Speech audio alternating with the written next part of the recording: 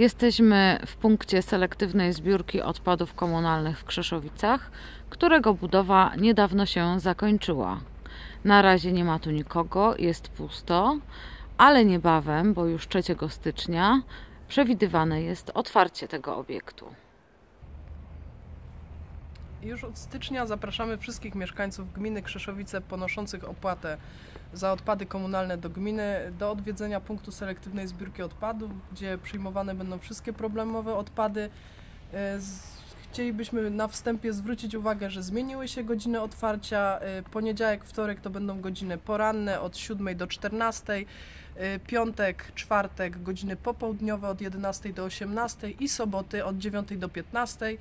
E, Zapraszamy również wszystkich, którzy mają przedmioty, których chcieliby się pozbyć albo e, komuś udostępnić, ponieważ będzie tutaj miejsce dedykowane na przedmioty do ponownego użytku, gdzie będziemy zostawiać, zabierać i e, spowodować tym samym, że mniej śmieci będzie produkowanych.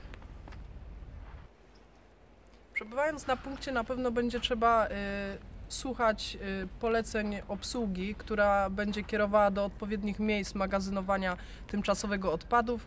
Y, Za nami boksy do tymczasowego y, magazynowania oraz pojemniki czy kontenery na elektroodpady, na odpady wielkogabarytowe, na frakcje, które gromadzimy w domach w kolorowych workach, na gruz, zużyte opony.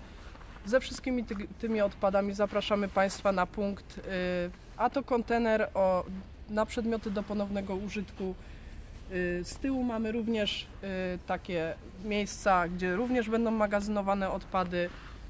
Kontener dla obsługi punktu i kontener na odpady niebezpieczne, które też będą przyjmowane w punkcie.